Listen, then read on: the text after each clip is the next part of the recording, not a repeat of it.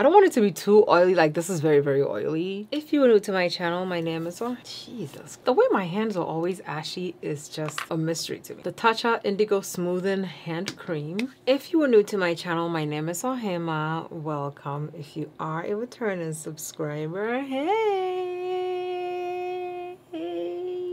we are going to be trying a full face of Saie makeup. I have a full array of products, so let's go ahead and do a full complexion of Saie makeup just so we can see whether or not it's going to work for us, especially for the simple fact that we have oily skin and also with it being winter, I want to go ahead and make sure that my skin is as hydrated and as moisturized, plump, and thriving as I possibly can. All the products I will use in today's video will be tagged right here, so definitely click that view products tag. If it's not there, I will link it down below for you to see. Both links are going to be affiliated, so anytime you click it, you're going to be supporting your girl. Thank you. Let's go ahead and jump and do it. First things first, we have the primer, and their primer is not called a primer. It's called the Super Glowy Gel. On their site, it just says that you can use one to two pumps apply after your skincare routine. You can also mix it with your foundation. You can wear it by itself. You can wear it as a primer under your foundation or tinted moisturizer. And they said it looks amazing over makeup. I have two shades here. The Sun Glow, which is this one. Star Glow. These are the two primers. I want to go in with this one because I feel like it would give me a nice golden look to the skin. But this one will give me that silver glow that I'm already, I already have on my face. We're taking Sun Glow on the right side and Star Glow on the left side. It feels very cool. It's not oily. The only thing that you're going to notice is that my skin is a lot glowier on the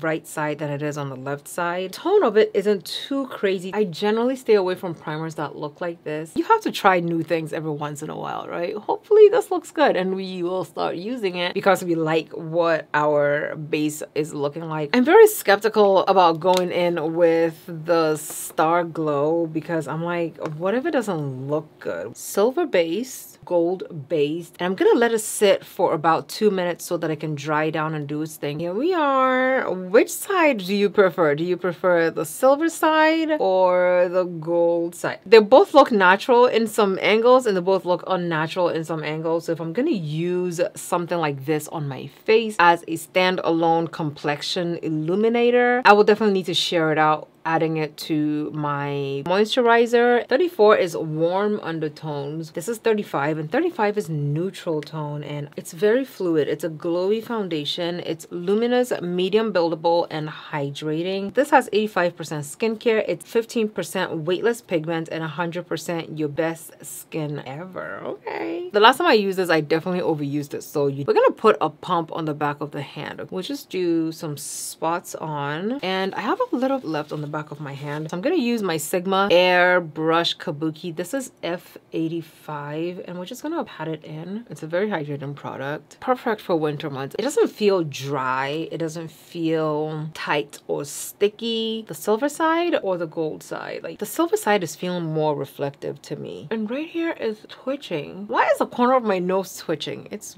weird. It's a very strange sensation. While I give the base a chance to settle down, let me tell you about these concealers. There are about 16 of these concealer shades, the deepest being HB10. This is the deepest one and this is the second deepest shade. The shades look very, very, very similar. It's hydrating and plumping, brightening and smoothing. Okay, so this is not going to be a mattifying concealer. It would have been nice if the concealer was mattifying. That way, you know, it can help kind of combat the glowiness on my face right now. There is a little brush that came with it. I will link it down below so you can see it. This will be perfect for blending the concealer in. We have two shades of blush here. We're gonna put the orange one on the right side and we'll put the pinkish one on the left side. I just hope the pinkish one looks good once it's blended in. I'll just blend it in with the same hmm. brush. The orange blush disappeared into my skin. Let's go in with the powder. We have the Saie Air Set Radiant Loose Setting Powder. Oh my god.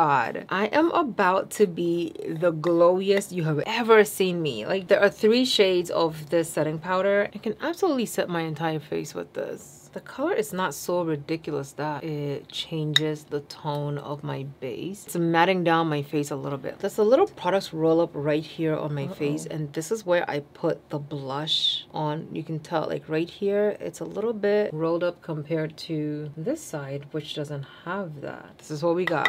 They have these Glow Sculpt single pan products. They look to me like highlighters with several different tones and oh, they're really, really smooth. So I might maybe use this shade because it's nice and deep and beautiful. This is called Bronze Glow, but it also gives you a glow. It's given like a cushion type of product vibes. Okay, I don't have blush on. I don't know that I will go in with blush. Let's add a little bit of peach glow on top of it. It can give us a little bit more color. This is nice. It's making my cheekbone pop, but it's not giving that harsh shimmer look to the face that some other highlighters will do for you. Okay, guys, so this is what my base is looking like. I'm gonna put the Charlotte Tilbury Airbrush Flawless Finish on it.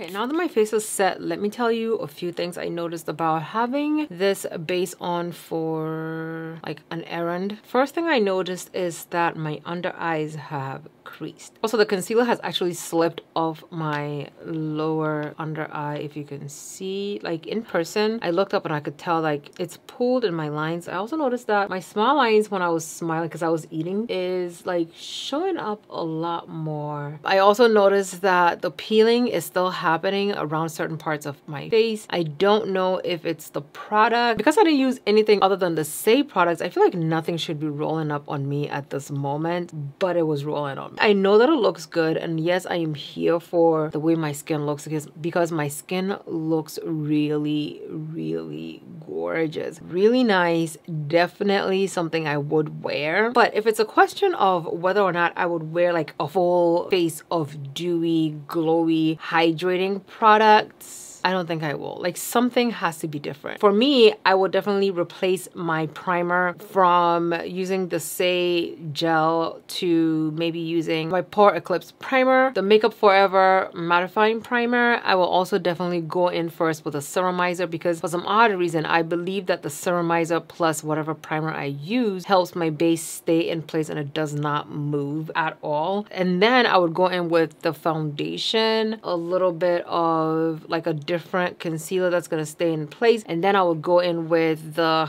the glow gel and the little highlighters because that's what they do. They highlight the skin and make it a lot more glowy, but not like crazy looking. The glow sculpt that I just use is called Bronze Glow. There are a few other shades that you can pick from. The blushes, I will stay away from them personally because they're not pigmented enough. Okay, I'm going to try to fix this. Going back in with some of that setting powder to just see if it's gonna stay in place. That being said, my base looks really, really good. I am not upset at it and I will definitely wear the same products again. Certain products like the foundation, I will have to put it on top of a matte base. The concealer, I will definitely use these concealers with like the Fenty mattifying foundation or any other foundations I have that are really super matte. Definitely a glowy concealer will help with that. That way it doesn't suck the moisture and the life and the glow out of my face. I would not go in with a glowy concealer with a glowy everything only to pile a bunch of powder on it eh, because it just it just defeats the purpose, right? Work smarter, not drive yourself crazy. But that is it for me showing you guys a full face of Saie. Absolutely love the products all together. It looks good. It's just the wear of it is a little off. But I feel like the products will perform really, really nicely individually depending on your situation. If you have dry skin, you might definitely be able to get away with this. Like even even under here, my skin looks like I have filter on. It's hydrated,